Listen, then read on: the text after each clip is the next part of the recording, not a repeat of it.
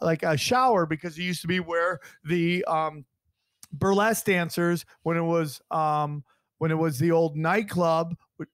That's where they would shower Damn. you know, and it's been great. I got peed on by Miley Cyrus's uh, stunt double there one time, which was fun, and I learned that I, I like getting peed on isn't that bad. You know, Yeah. I thought it was bad, but I, you're not into that. No, I'm not. Well, if a girl did it, it's not so bad. Yeah, has it If I happened to you? Uh, I think a dude has done it when I was a kid. Hey, man, that sounds tragic, and if I knew, him, Yeah. I'd punch him in the face. it's okay.